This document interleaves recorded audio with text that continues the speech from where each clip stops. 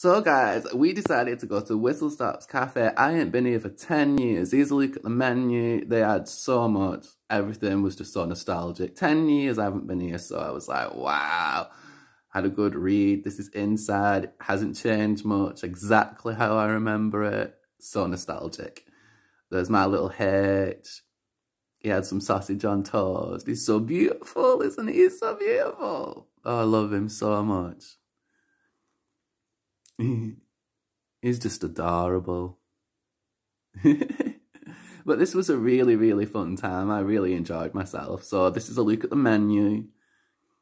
Whistle Stops Cafe. Make sure y'all go and try them out. They are amazing. And like I said, it's been 10 years. 10 years since I've been here. So I, I was dying. I had to go and try more than one thing. So I had to get more than one thing. It just looks so bomb. Um, the prices are great. What you can get on these menus are awesome.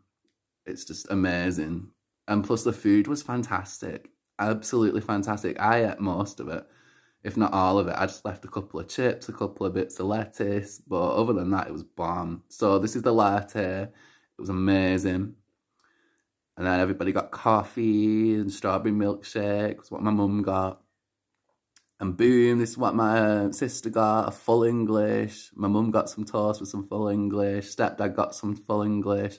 Here's what I got. It was a, um, God, I forgot, a burger. It was a cheese and mushroom, gosh, a cheese and mushroom omelette I got. It was so bomb. And I got um, a cheeseburger too. It was amazing. It was, there wasn't any greasy food. It wasn't boring it wasn't lackluster. It was nostalgic. It was brilliant. It was gorgeous. That meat on that burger was just next level, amazing. Absolutely just um, nom, nom, nom, nom. Whistle Stops Cafe, y'all. I'm happy I went.